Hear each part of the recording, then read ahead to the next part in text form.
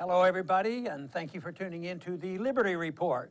With me today, co-host Daniel McAdams. Daniel, good to see you. Good morning, Dr. Paul. Well, very good. Uh, we have a special guest today. Yes. Uh, somebody that we remember well uh, when we were debating whether or not we should go to war, and guess what position we took? And I took very strongly.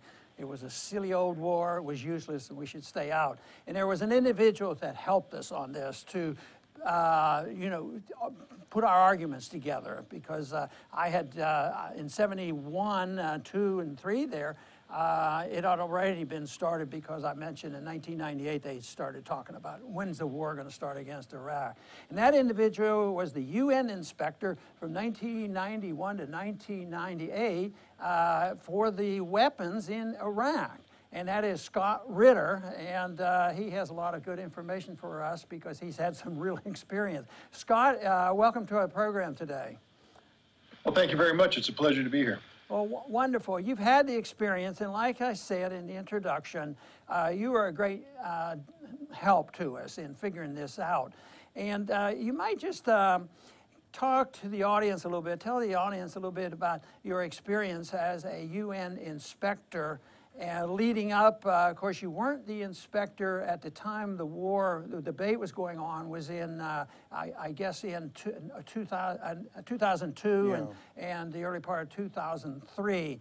Uh, but tell us a little bit about your work between 91 and 98, setting the stage for that confrontation with those who said that we were about to be attacked by the Iraqis with the nuclear weapons and with, an, uh, you know, it was all this war propaganda. So let us know a little bit about what your activities were like. Well, first of all, I think we need to understand why the UN picked me to be a, uh, to be a weapons inspector.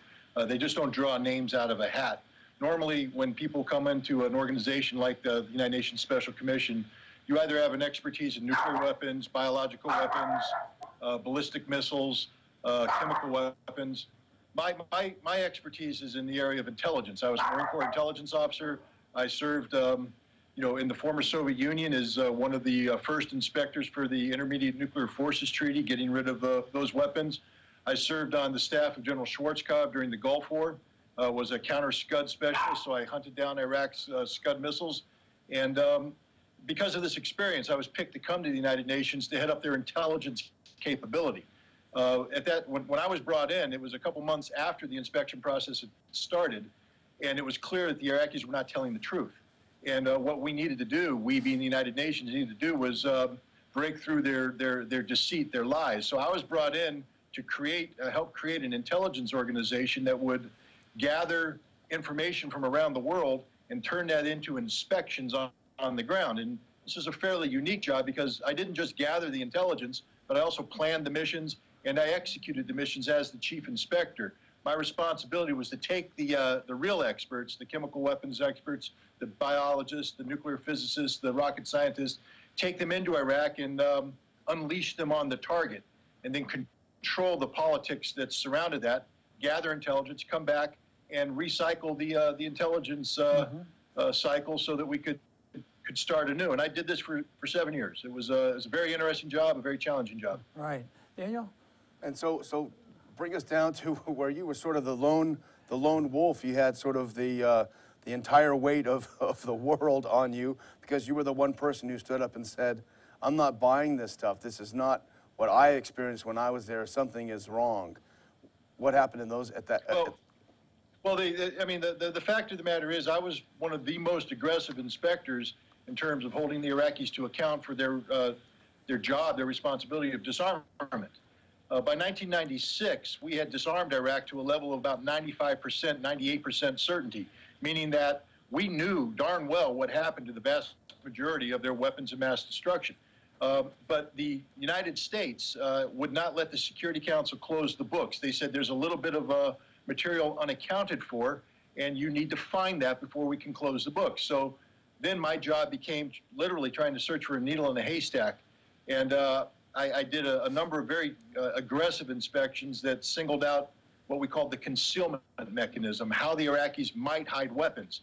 And this, uh, this activity led to a lot of confusion because a lot of people say, well, wait a minute, Ritter, you said there was a lot of weapons, that Iraq had a, a weapons capability. What I said was that Iraq had an unaccounted for weapons capability that the Security Council of the United Nations deemed to be a threat to the rest of the world. And they're my bosses. And as long as they say this is a threat, I have to search for it. There's a difference between implementing a resolution calling for the disarmament of Iraq and going to war in Iraq. And this is where I drew the line. Uh, in around uh, 1999, after uh, weapons inspectors were kicked out of Iraq, pri- primarily because of American intelligence interference uh, in, in the work of the inspectors, uh, I said, look, you know, we have to stop seeking to hunt for every nut, bolt, and screw in Iraq, and we have to start looking at it from a qualitative standpoint. Is the material that's unaccounted for, does it constitute a meaningful threat to the United States worthy of the loss of American military life? And as a former Marine who's been to war for my country, the answer was no. We know for a fact that Iraq does not have a retained operational capability, that whatever they may have hid from us, and we have no evidence that they hid it from us today, what they may have hidden no longer could be a viable weapon. So why are we talking about Iraq as a threat worthy of war? What we should be talking about is a resumption of weapons inspections um, to complete the task so that we could move on, lift sanctions, and bring Iraq back into the, uh, the community of nations. But that wasn't the mission that Right. the United Eh, States saw. And, to me, it's such a tragedy. The information was there, was available to me, and yet, you know, the war propagandists, the warmongers, were able to get away with it to the point where everybody was behind going in, going to war because they were so so fearful. But I don't think things have changed a whole lot when people want to control what's going on in the media. And uh, now you've been writing and talking about what's going on uh, with Russia and Syria, and uh, this this consensus. You know, well, constantly we heard there's the consensus of uh, all 17 agencies that we know what Russia has done. Can you give us a little bit of insight there? I know at times it gets a little bit confusing, but give us an insight to what is going on and where is the deception and and who propagates this deception. Absolutely. Look, to, to, start off, we need to understand that, uh, again, going back to Iraq, uh, I I think everybody is familiar with the fact that the, the WMD intelligence assessment put out by the intelligence community of the United States got it wrong, 100% wrong. They didn't get it right. Right. And um, after that, there was a, a, a, a, a commission put together by the Senate. Uh, the president put together a commission. And uh, the, the purpose of these commissions was to ensure that in the future, the intelligence community would not make such an egregious mistake. And in order to prevent that, you had um, standard operating procedures put in place. You had analytical guidelines put in place so that when the intelligence spoke, uh, com- community spoke, uh, it spoke with a single voice based upon consensus assessments. So now we fast forward to um, you know the, the situation we have vis-a-vis Russia. In January of this year, there was an intelligence community assessment published. And a lot of people said, oh, this means 17 intelligence agencies have come to a consensual agreement about the threat posed by Russia. This is not the case. First of all, only three agencies were actually involved in this the National Security Agency, the FBI, and the CIA. And even when we get to that, these were not agency assessments, but rather hand picked analysts from each of these agencies brought together in a special task force uh, and, and what we've done is, what, what has been done is that they're playing a game of smoke and mirrors. They put out this uh, document and they say this is a consensus assessment, but it's not. It's cherry picked information uh, interpreted by cherry picked analysts. It's the exact same mistake we made going into Iraq, where you had a group think mentality controlled by analysts who were predisposed to accept a, a, a, a conclusion uh, based upon incomplete information. I mean, we just assumed that Russia did it because Russia's automatically evil. We've demonized Russia. Therefore, anything we say that's negative about Putin or Russia, deserved or otherwise, is automatically accepted as, as, as truth. One of the great failures of Iraq was that the intelligence community would not even consider the possibility that Saddam Hussein would have willfully gotten rid of his weapons in 1991. We know today that that was a fact. That happened. But the intelligence community simply would not accept that as a possibility. The same way today, when President Putin, and I'm not saying we have to believe him, but when he puts it out there that Russia was not involved, people just reject this out of hand, saying it's inconceivable that Russia, that, that we could believe a Putin, that Putin would could could be telling the truth. When the fact of the matter is, because there is no hard smoking gun evidence, we have to at least consider the possibility that maybe Vladimir Putin might be telling the truth. I'm not saying he is, but we shouldn't be dismissive of this, especially after the Iraq fiasco. Well, that's exactly what they said around the time of Saddam. If you questioned uh, the, the conventional wisdom, oh, you're on the side of Saddam, you're a Saddam lover. Oh, you're, you're Putin's poodle. If you listen, it's amazing how, it's, how, how infantile it is. But you know, uh, and you pointed out, by the way, I should say, these are two blockbuster articles you've done for the American Conservative magazine, uh, just I think a week or so apart. The one on the Syria investigation and the one on the Russia so-called hacking. These are fantastic articles, really well done, well researched.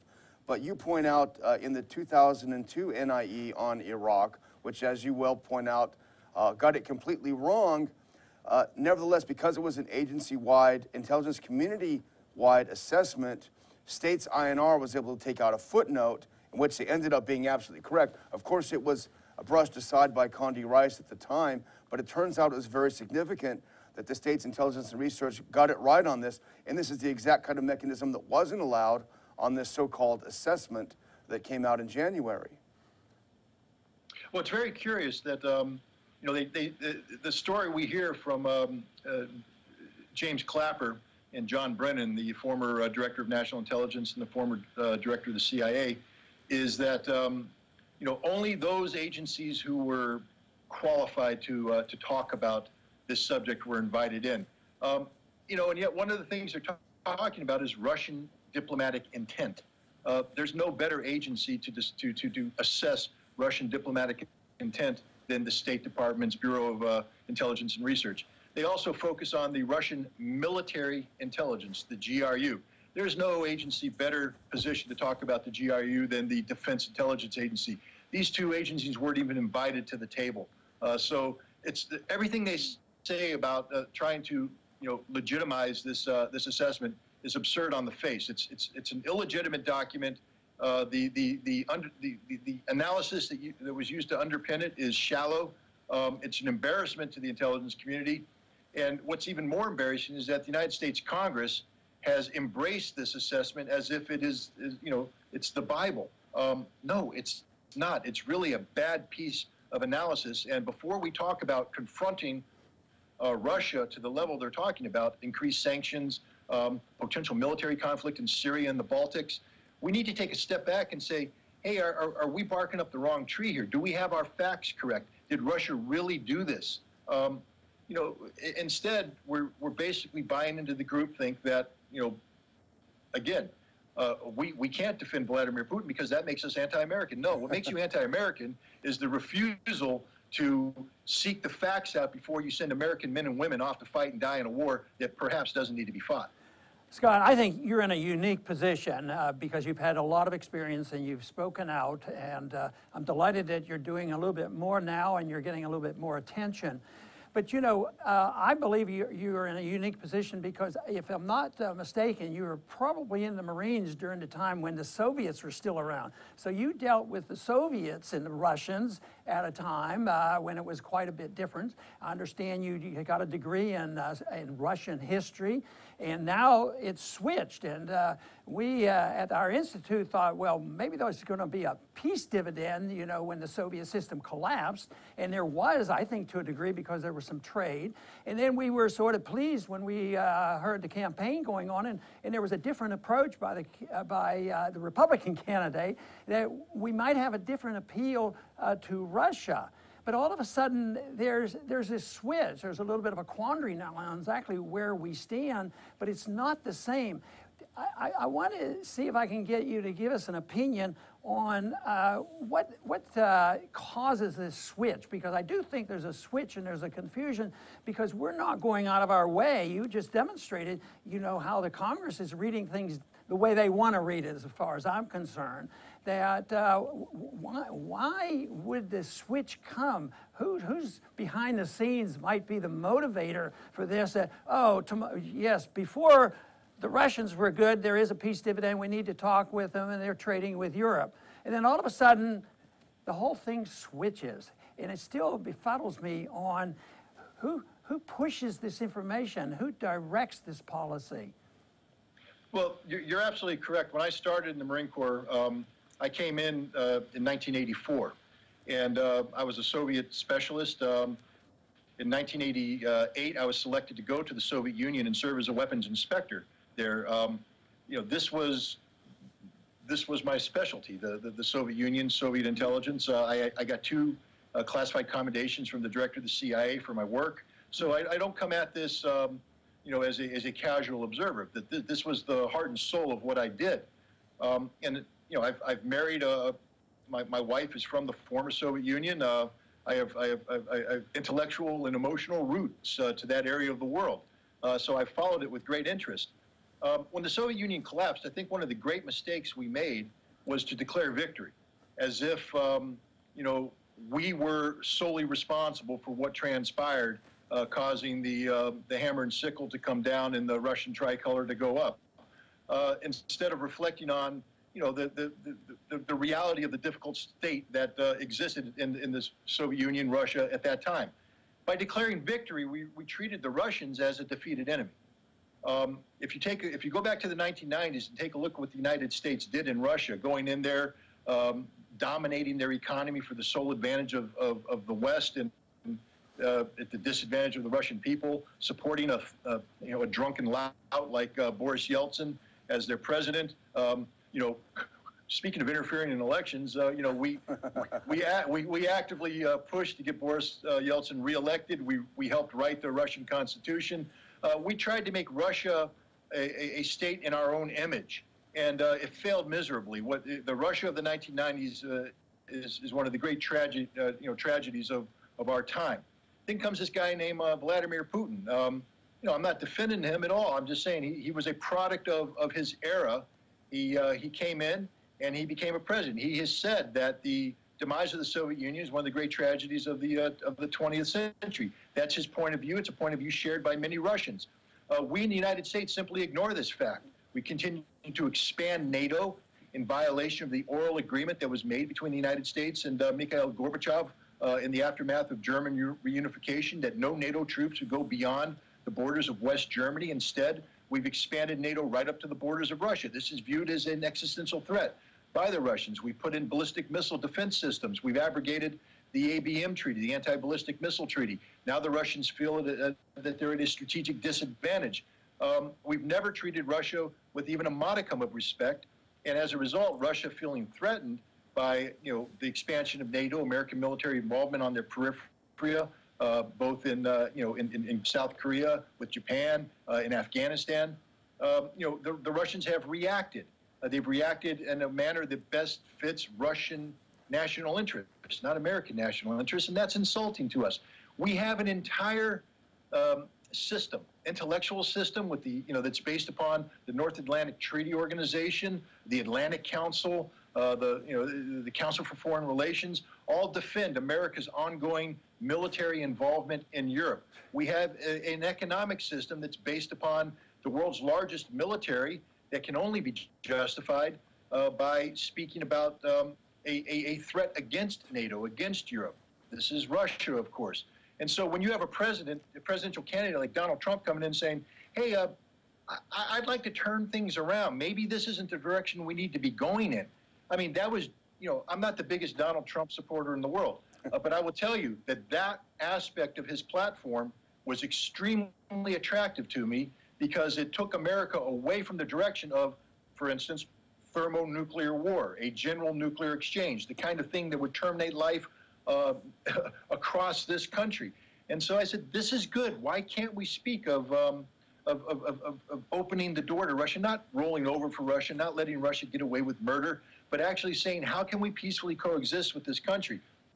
This was a threat to people who have made their living casting Russia as a threat. The, the, the various intellectual think tanks, the various um, you know, defense uh, industries, et cetera, everybody makes their dollar off of the Russian threat. And when Donald Trump said, I'm no longer going to treat Russia like a threat, he's threatening a lot of vested political and economic interests here in the United States and around the world. And this is why I think we're seeing this backlash, not because he's intellectually wrong. In fact, I haven't seen very many intellectually based arguments uh, that are out there uh, that, that, that can stand toe to toe with the basic rationale of improving relations with Russia. Uh, but you know, they, they, they, they attack him on superficial things like this ridiculous Don Jr. meeting, um, uh, you know, the, the, the invented hacking story. You know, I don't know what happened with the hacking. The, the reason why we don't know is we don't have the truth. We don't have all the facts. They're, they're not telling us everything. Uh, this, they, they hide behind this uh, intelligence community assessment as if it's, you know, the, the last word when it's not even the first word. Um, but there's the, Donald Trump has stepped on a lot of toes, and I think that's why we're seeing such a backlash. Yeah. Okay, I think Daniel has another question, and we're going to close up here in a little bit, but we have time for another question or two. Okay, yeah, I just would clarify, interesting, that, what, what- one of the things that, that Putin clarified about this biggest tragedy, the collapse of the Soviet Union, was the fact that millions of Russians woke up the next morning and found themselves uh, outside their own country, and that's certainly true in the Baltics and elsewhere. But I know we've, we've covered a lot of territory on Russia. If I can just indulge you a little bit to switch gears, because you had another terrific piece on the Syria gas story. And, uh, you know, this is something that you're an expert in, uh, these kinds of inspections. Uh, you came down saying that this whole uh, OPCW, the Orga- uh, Organization for Prohibition of Chemical Weapons, the whole report is very suspicious. On one hand, you've got Hersh, Seymour Hersh's uh, arguments. On the other hand, you have Eliot Higgins. Uh, interestingly enough, you brought in Aristotle to make your points, and I thought that was a very inventive way of doing it.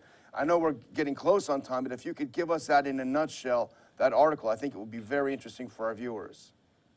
Certainly. Look, I'm not here to defend Seymour Hersh, and I'm not here to attack Eliot Higgins. Uh, they're, they're, they're welcome their opinion. I'm not here to support the Russian version of events or the uh, rebel version of events. What, what I have done, though, is singled in on the fact that the, the you know many people who want to point the finger at Syria have adopted the uh, findings of the Organization for the Prohibition of Chemical Weapons (OPCW's) conclusions that sarin or a sarin-like agent was used at Khan Sheikhoun. Um, and I focus in on how did they reach this conclusion. And again, I come at this from the perspective of a- weapons inspector. The, the protocols that the OPCW uses in Syria were developed by my teams and teams that I was affiliated with in Iraq back in the 1990s. The whole concept of chain of custody to protect the integrity of samples, uh, the sampling protocol, how to actually take samples on the ground. These are all things that, that I developed, that I was uh, intimately involved in. So I don't come at this casually. And I, and I took apart the OPCW report. And right off the bat, when you have samples taken by an interested party, in this case, uh, the rebels on the ground, in particular an NGO known as the White Helmets, um, they, they, they took sampling without any protocol on the 4th of April. Uh, nine days later, they turned these samples over to the OPCW, and the OPCW accepts these as viable sampling. Right off the bat, any finding that is derived from these samples is, is illegitimate in the eyes of the inspection business. So why the OPCW goes, goes further and, and says these samples show this, that's irrelevant. These samples aren't samples. They don't count as samples. They weren't taken by your team. Your team can't vouch for their, um, for their veracity. Therefore, you shouldn't be talking about them. And that's the heart of my, of, of my, of my problem here is that the OPCW violated every procedure it has in place that's supposed to guarantee its integrity as an organization. And in doing so, it's lost its integrity. And as you point out, the White Helmets are not an uninterested party. They're funded by the United States government and other Western governments in the millions of dollars. So even that would certainly raise the, the conflict of interest suspicion, would it not? Well, not, not, not, not, just that. They, uh, they, they, they peacefully coexist with Al Nusra, which is an Al Qaeda affiliate. And, you know, um, I just, I, that, that automatically disqualifies them. But even more so, uh, you know, I, I asked the OPCW to explain. They use the term chemical sampling unit. There, there's supposedly a chemical sampling unit with the white helmets. I looked at the videos. They're wearing training suits. Yeah, and Uh, they're- flip-flops. they're- they're- uh, well, no, no. Some of them actually wore. they- It's like they're playing Halloween dress up. They dressed up as if they were actual inspectors taking samples, but they're wearing training suits, which provide no protection. Uh, they, it, it's a joke. What they did, everything they did was theatrical. It was it was a visual designed to confuse um, or send a false signal to an unknowing audience. But to a, an expert like me, uh, you know, I was a hazardous materials specialist on a, on a USAR team, urban search and rescue team here in New York. Uh, that was my job, is to do uh, hazardous material sampling at a chemical weapons uh, release site. Um, what they did was a joke. It, it didn't even come close to, um, to, to meeting any, any standard of quality control uh, any professionalism. You, you can't, you could not accept what they did as being a sample. And yet, that's what the OPCW did, and that is why their finding must be rejected. It cannot be accepted because it's simply not a legitimate finding. It's a politicized finding designed to rush to a, to a, a preordained conclusion, which is, oh, the, the Syrian government did this. And that's what ultimately people want everybody to think. This, maybe the Syrian government did do it. I'm not saying they didn't. I'm just saying that based upon the evidence that's put out there, you can't reach that conclusion. They certainly seem to bamboozle the president, though. That's uh, got to be slightly disconcerting to those of us hoping he would be a little bit more reluctant. Yeah.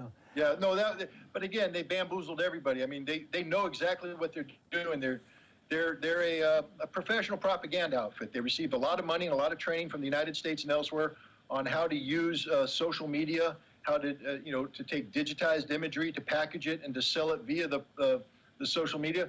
The OPCW deployed inspectors to Syria based upon these images, uh, and the President of the United States ordered a military attack against a sovereign state based upon these images. So, you know, we can sit here and uh, make fun of them all we want, but uh, they were very successful in what they did. They got the president to do something. They got the OPCW to do something.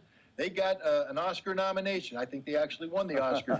so they're they're doing quite well with their propaganda. But this does not mean that what they've done, what they do, and the conclusions they helped reach are valid. They're they're simply not. Scott, I want to thank you very much for being on the program. Our viewers are going to really enjoy this program. And it just reminds me of the fact that you were helpful to us to understand and build up our arguments against the insanity of going into Iraq, which is an ongoing war, even still today. And that if the people who are honestly looking for information about trying to prevent more fiascos, they need to look and see what you're doing and what you're writing. And I understand you're going to have a book coming out later this year. You might mention in closing the name of that book and uh, about when that book might be available.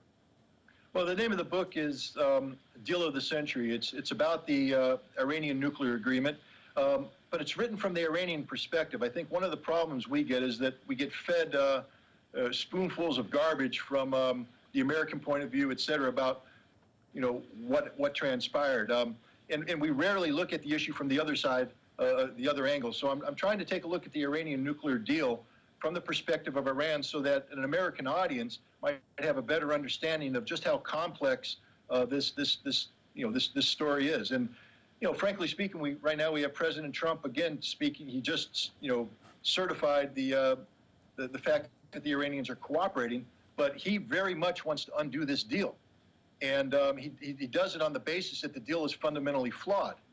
And I think uh, publishing a book like this will help people see that uh, actually the deal isn't fundamentally flawed. Uh, it, it's, it's, it's a very good deal. It, it, it, probably prevented a war with Iran, and as long as we stay in this deal, it'll, you know, it'll keep us from needlessly going to war with Iran in the future. I'm not giving the Iranians a clean bill of health on, you know, their ballistic missile program, their support for terrorism, etc.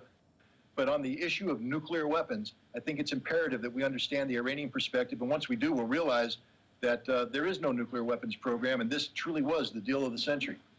Scott, thank you very much for being with us today. Well, thank you for having me. Good. And I want to thank our viewers for joining in today, and please come back soon to the Liberty Report.